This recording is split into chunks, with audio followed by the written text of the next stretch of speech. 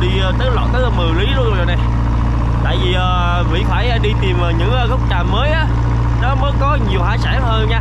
Còn mấy gốc trà mình đã lặn qua rồi, nên cá nó chưa có quời lại các nhà nên sẽ không tới những gốc trà cũ nha. Thì cũng lâu lâu phải thăm lại gốc trà cũ rồi các nhà tại vì cá biển ở dưới nước mà, nó thích đi đâu nó đi á. Nên nhiều khi nó cũng phải quay trở lại những gốc trà đó nha thì mùa này cũng không có được nhiều cá đâu cả nhà. Khoảng uh, tháng uh, tháng năm tháng 6 hoặc tháng 7 đó cá nó mới được nhiều nha. Tại vì mấy tháng đó là tháng uh, những uh, tháng mùa cá đó. Còn uh, mấy tháng mà nước trong á là những uh, cái tháng uh, mùa sò ốc như mỹ uh, thường hay lặn nè. Còn uh, mùa mà nước mờ nước đục á là mùa đó cá về ở rất là nhiều nha. Mặt trời thì cũng đã lên được đấy nha giờ thì cũng ờ, uh, 6 giờ 6 giờ mấy nha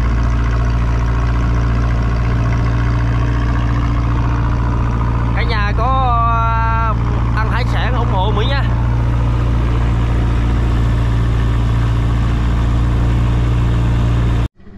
Rồi cũng ờ, như mọi khi mặt trời lên cao thì ờ, Mỹ và em trai của Mỹ sẽ nhảy xuống đi lặn hải sản nha. Độ sâu ờ, ngày hôm nay Mỹ lặn ờ, với độ sâu 14 mét nước ô có vẻ như ờ, ở dưới đây nước trong này cả nhà. Ở đây ờ, nước ờ, cửa hơi sâu cả nhà 14 mét tương đương cũng 10 sải tay đó. Ở độ sâu 10 sải tay á, thì cũng bình thường thôi cả nhà. Thường thì nguy hiểm nhất là từ con nước 12 sải tay đổ lên nha. Từ con nước 12 sải tay lên hay bị ờ, nhức tay nhức chân lắm. Thì càng xa độ tiếp nước nó càng nặng nha cả nhà biết ờ, cái ờ, đường gì đây không? Đây là cái ờ, đường của một chiếc giả cà quay á. Đây, đường chiếc jeep nha. Thì có phát hiện ra một cái dấu của con ốc bông này thịt của con ốc bông đây nè. Ăn cực kỳ là bổ dưỡng nha. Tại vì cái con ốc này á, nó toàn ăn toàn là hải sâm không thôi đó có vẻ như mỹ ờ, nhảy xuống ờ, cái ờ, điểm đầu tiên á, thì không thấy phát hiện được cái đụng chài rồi cả nhà. Mỹ đang có chạy về để lên trên kia đi tìm một cái đụng khác này. Nhưng mà mỹ phát hiện ra cái chỗ đây á, toàn là ốc không thôi. Mỹ từ xa cứ tưởng đâu ốc nhảy chứ. Khi mà lại gần á, thì toàn là những con ốc bự hồn con nhỏ không thôi. Mỹ lại gặp thêm một con ốc bông nữa này. Và một con sò điệp bay này. Mỹ đang ờ, chạy về đó, bắt được ba con. Đây nè, Mỹ lại gặp ờ, thêm ờ, một con nữa nè. Đây là dấu tích của con sò ngọ nha. Đây sò ngọ lớn nè. Giá sò ngọ này cũng rất là cao luôn. Cũng trăm mấy đến hai trăm ngàn đồng đó. Ô, mỹ chạy về lại gặp thêm một cái dấu tích của con sò lỏ này các nhà. Ô ra trên đường ờ, chạy về tiếng kia mỹ là ờ, bắt cũng ờ, được một mớ hải sản nè.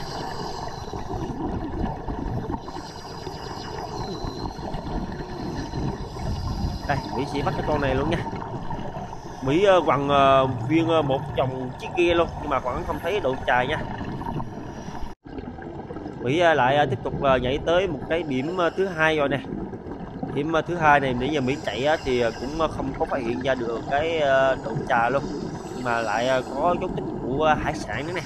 Ốc mỡ và sò điệp bay. Đây là đường đi của một con ốc. Ốc hay là cái con gì nè? Để Mỹ chạy theo thứ con gì nha. Có con sò điệp bay này Ồ, có nghĩa như con này đi rất là xa luôn Đây này các nhà, Mỹ phát hiện được nè. Thì ra đây là con ờ, sò sò Meca nha. Công nhận cái con sò Meca này đi rất là xa luôn. Mỹ ờ, cứ tưởng đâu là con ốc, không thôi. Có một con ốc mỡ nữa cả nhà. Mỹ lại ờ, tới thêm cái điểm thứ tư rồi. Điểm thứ tư này Mỹ chạy cũng không thấy đụng trà luôn cả nhà. Nhưng mà lại phát hiện ra chỗ đây cũng có ít hải sản nữa nè.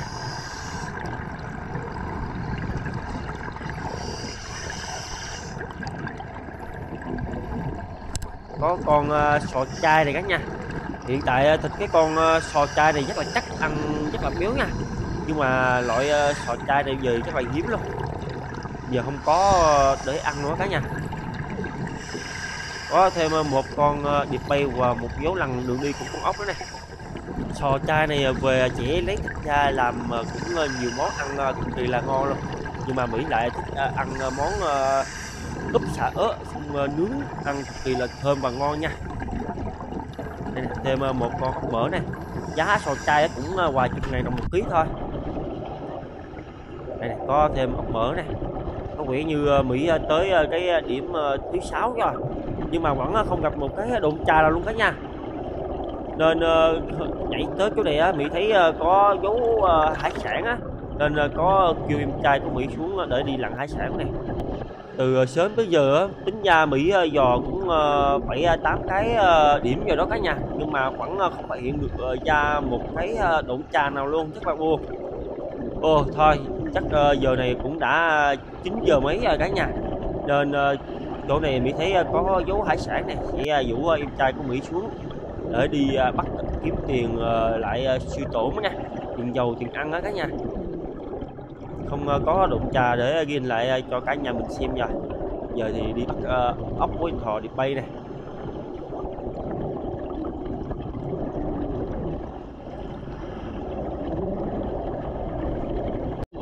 tính ra cũng khá là lâu rồi nè mỹ mới có phát hiện lại con ờ, ba chấm nè. Chỗ mỹ thường hay gọi là con ghẹ mặt trăng nha. Ồ, con này là con ghẹ cái này nhìn này cũng rất là chắc đó. Có vẻ như có cạch này cả nhà chị sẽ à, bắt để dành ăn nha. Mày à, đâu à, xuống đây kiếm vài con nữa sao?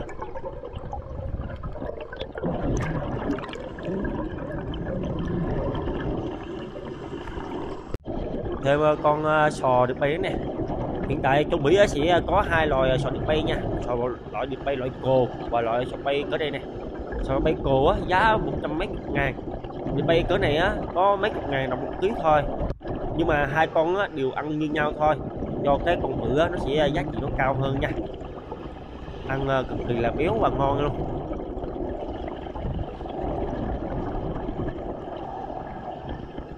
Đây này có một con à, ốc này đây là con ốc mỡ nha. Ốc mỡ này ăn cũng ngon luôn này luộc ăn chấm muối mỡ ăn ngon lắm cái nha. Ốc mỡ thì giá cả thì cũng mấy chục ngàn đồng một ký thôi. Ồ Mỹ có phát hiện ra một cái ờ, dấu của một con ờ, sò ngọt bi này sò ngọt bi này ờ, cũng trăm mấy chục ngàn đồng một ký đó. Thịt của con sò ngọt này ăn vô nó có vị ngọt cả nhà nên uh, chỗ Mỹ uh, đặt nó luôn một cái tên là con uh, sò ngọt nha. Nó còn có một cái uh, tên uh, là con uh, sò dương ô con bạch tuộc kia nó chạy ra. Nó chạy không thoát Mỹ đâu. Đây này nó chạy đi một đoạn á tới đây nó chui xuống cái này bạch tuộc này ờ, giá của Mỹ thì ờ, cũng ờ, trăm mấy chục ngàn đồng một ký đấy nha. Giá cả thì Mỹ báo uh, đương chừng thôi chứ thật ra giá cả hải sản của Mỹ thì có bữa này bữa nọ nha. Bữa thì lên giá bữa thì hạ giá nên bị chỉ báo lương chừng như thế này nè. Không có thể nào mà báo chính xác được đâu. Ốc đá này ốc đá này cũng mấy chục ngàn đến trăm ngàn đồng một ký đó các nhà có vẻ như ờ, cái ờ, chỗ này mỹ thấy ờ, toàn là ốc đá ốc mỡ của sò điệp bay là ngon này nhưng mà có mấy cái con sò có giá trị cao nữa thì ngon biết mấy. Giờ chỉ đi uh, hy vọng là kiếm lại tiền uh, giàu tiền ăn thì uống thôi.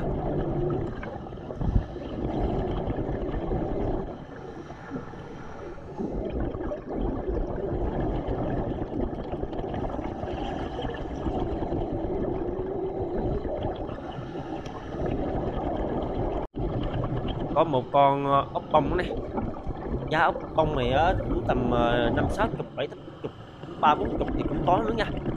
Nó vô giá lắm.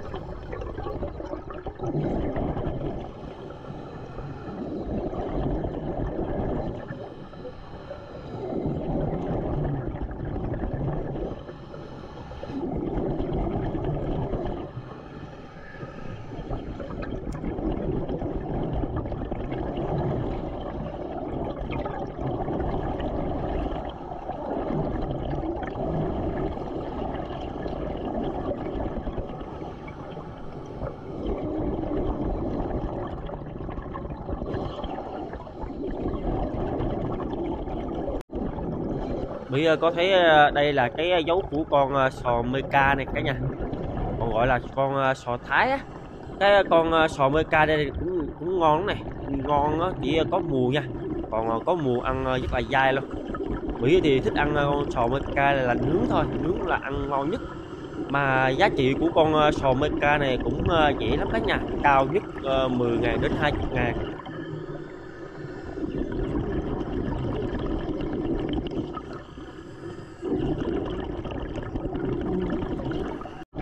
Mỹ thấy ờ, chỗ này ờ, có hai cái dấu ốc này cả nhà hai cái dấu ốc này là dấu ốc ờ, bông nha.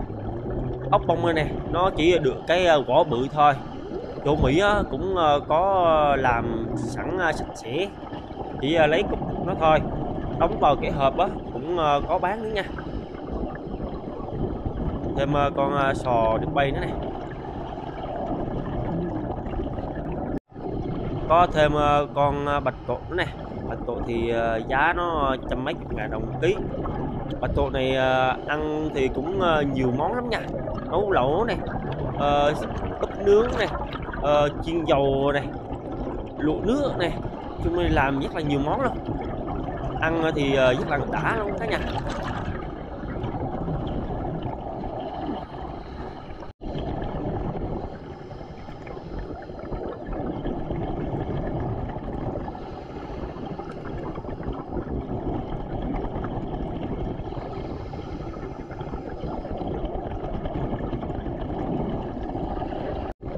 Đây. Có thêm ờ, một con ờ, ốc bông này. Ốc bông này mà về ờ, lấy thịt da làm gỏi trụng gỏi á cả nhà. Ăn cũng đã lắm. Có con ốc mỡ nữa này.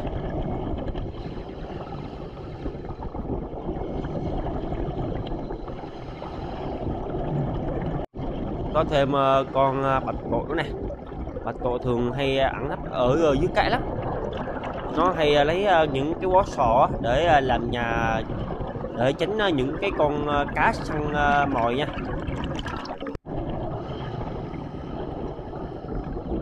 Đây là con cua chân dài này.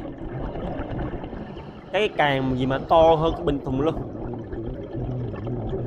Con này thì nó không có to đâu cả nhà nó chỉ tầm cỡ này thôi.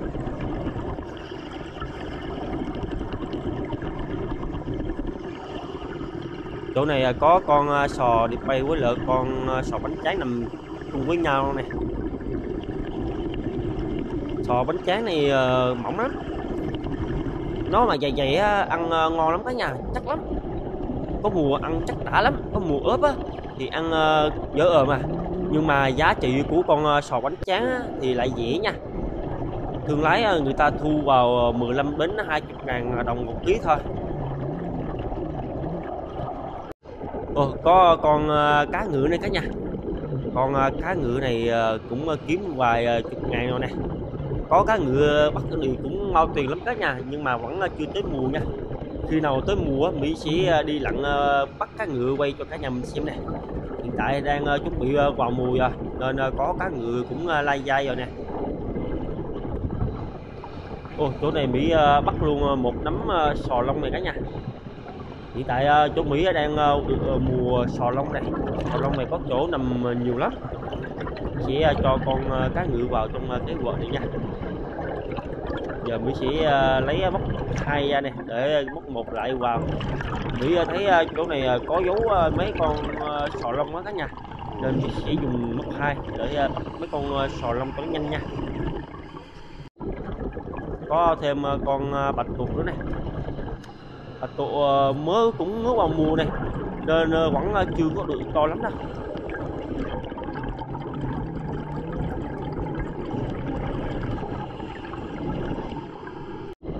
Mới lại gặp thêm à, con à, bạch tuộc nữa này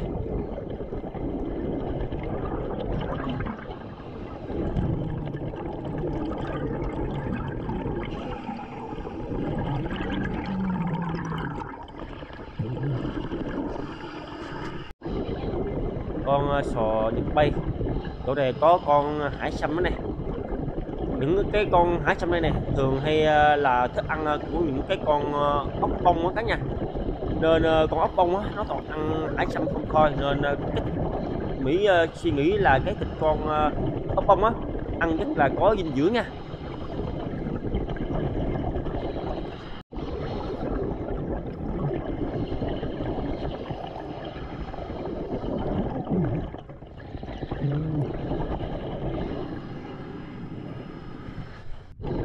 Ồ, hai anh Mỹ ờ, chạy ờ, tới ờ, khúc này nè. Thì có phát hiện được ốc nhảy nè.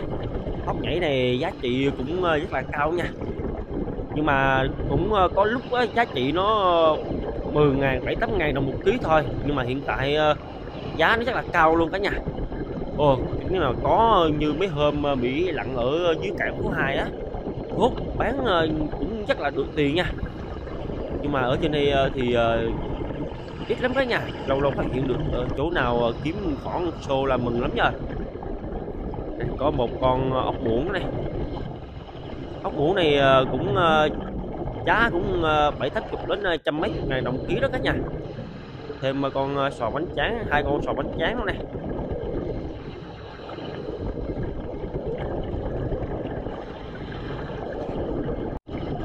vị thấy có thêm con ốc muỗng này giá trị ờ, của ờ, con ốc muỗng này ờ, cũng tầm đâu đó khoảng trăm ngàn nhưng mà ăn kỳ là ngon nha. Ồ, có một con ốc đen nữa nè. Ốc đen này Mỹ thấy còn nhỏ nha nên Mỹ sẽ không có bắt nó. Nó cũng gần cả trăm ngàn đồng ký đó các nhà. Có thêm một con ốc bông nữa nè.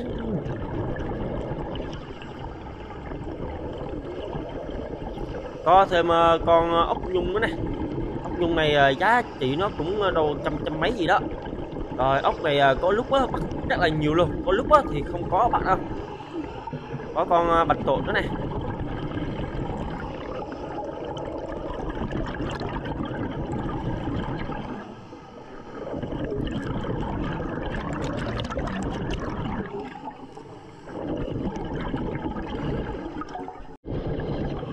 có thêm ờ, một cái ờ, dấu tích của con ờ, sò mê ca này. Nhìn cái dấu chúng con sò ngọ ha. Giá trị của con sò mê ca này nó cũng thất thường này. Giá cao nhất cũng 30 ngày đó. Giá thấp nhất cũng 5 6 ngàn.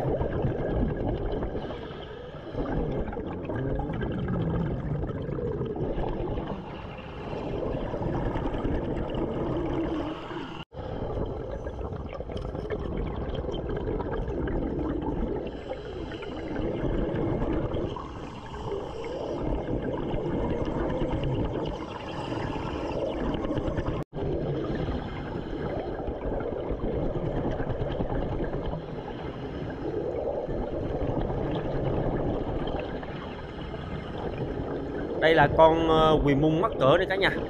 Cái con ờ, quỳ mắc cỡ này á, nó cũng có rất là nhiều màu sắc lắm.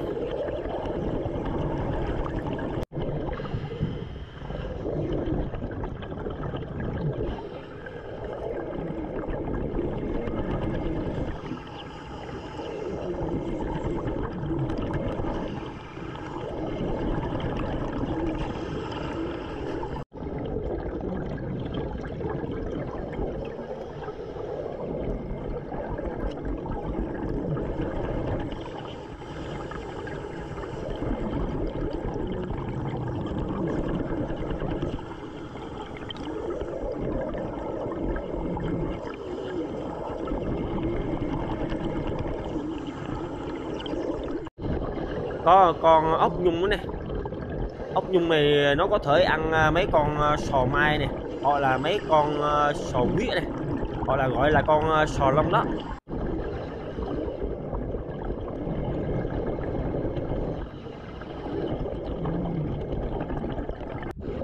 Có thêm con ốc nhung nữa này chắc ở chỗ này có dấu sò huyết này nó theo nó ăn đó.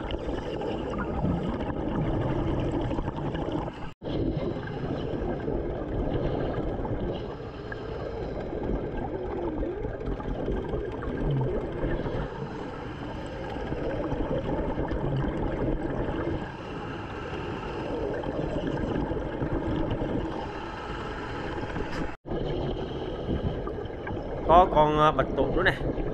Mà công nhận mấy con ờ, bạch tuộc này á, nó mà trốn trong cái vỏ sò thì rất là dễ thấy nha. Khi mà nó không có trốn trong vỏ sò mà nó trốn dưới cá thì lại ờ, rất là khó thấy nha.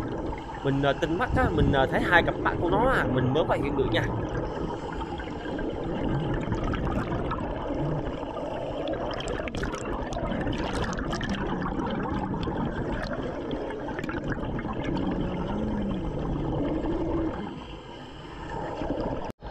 Đây nè nó trốn ờ, trong ờ, vỏ sò này nhìn dễ thấy lắm. Còn mà nó trốn dưới cá thì ờ, cả nhà nhìn đó đâu có thấy đâu ha.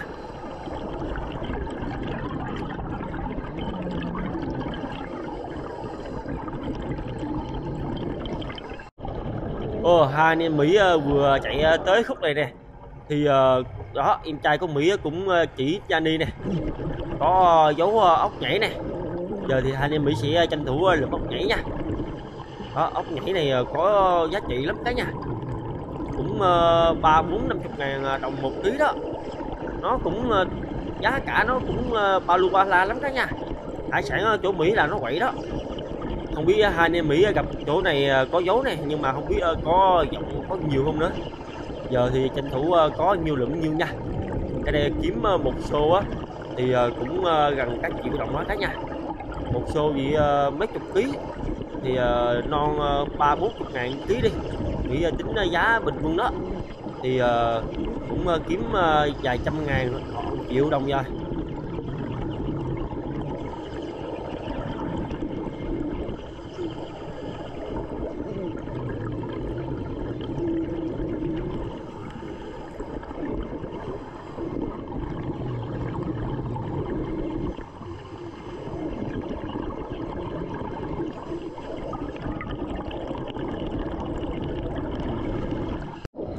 Ồ, có vẻ như uh, mấy cái con uh, ốc nhảy này nó ăn uh, nằm dọc uh, đường thẳng nha. Thì uh, nó chỉ ăn uh, một dọc thẳng như này cả nhà. Nó không có hai bên nha. Một dọc thẳng thì uh, cũng uh, ít thôi nhưng chắc được nhiều đâu. Đây này cả nhà xem đây. Đó nó chỉ uh, nằm một thẳng xuống đó thôi. Giờ có nhiều lượng nhiêu thôi cả nhà. Ờ, Mỹ cũng uh, cầu mong uh, gặp thêm nhiều nhiều ấy tại vì cái con ờ, ốc nhảy tròn này, cả nhà nhìn ờ, nó nhỏ nhỏ rồi đó. Khi mà mình ờ, bắt được số lượng nhiều á, nó chắc là nặng ký nha. Tính ra một bao mình vào mấy con sò lông á, có 7 ký một bao thôi. Nếu mà mình có ốc này mình vào một bao như vậy á, cũng 8 ký đó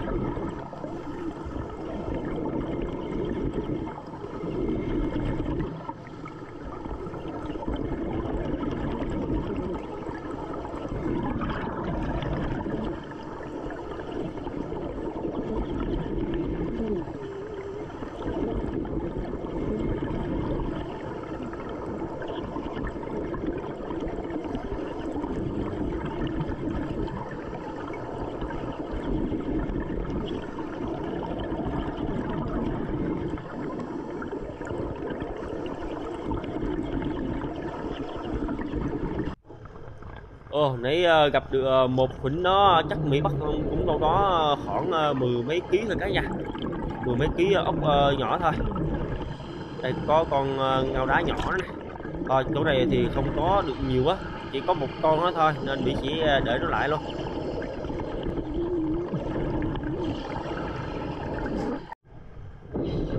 Vì thấy có con bạch tuộc nữa nè.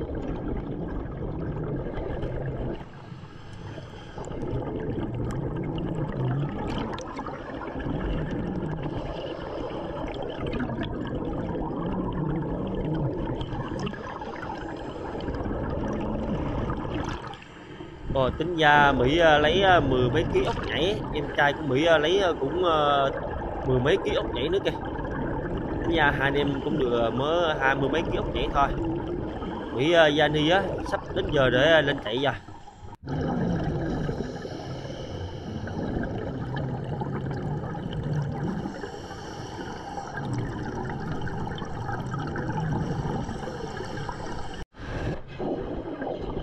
có con ờ, sò điệp bay này. Đây là con ốc nhảy dài này, nhưng mà nó nhỏ nha. Đây có con ốc gì đây nữa này. Ốc này mình không biết tên nha. Được, con ờ, sò điệp bay. Điệp bay chỗ này ờ, cũng lâu lâu mới được một con thôi.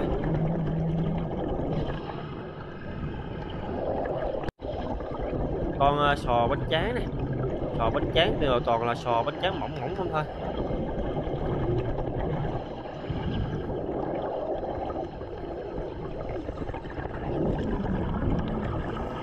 Một ờ, dấu lằn ờ, đường đi ờ, của một con ốc này ốc mỡ nha. Đây là con cá thò lòi này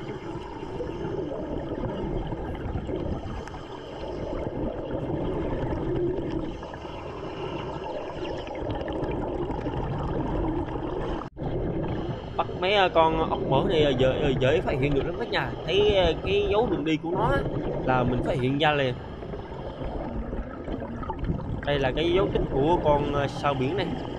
Người thấy cái con sao biển này á người ta có ờ, phơi khô á để làm bị thuốc gì, đó. Mình không biết có tốt lành gì không nữa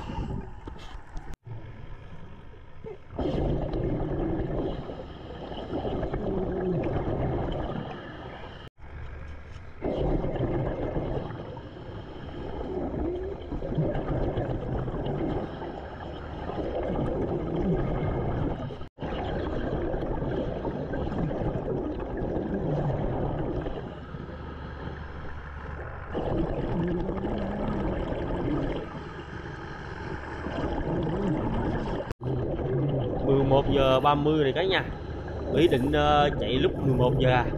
Chủ yếu ờ, hai anh em Mỹ ờ, tới đây á, để kiếm tiền dầu ăn thôi. Mỹ nghĩ chắc cũng dư rồi đó, nên Mỹ sẽ lên để chạy vào sớm nha. Hôm nay đi lặn trà mà không quay được cái độn trà nào luôn. Nhưng mà may cái phát hiện ra có hải sản này. Nên bắt hải sản để kiếm tiền kinh phí ờ, đi thôi cả nhà.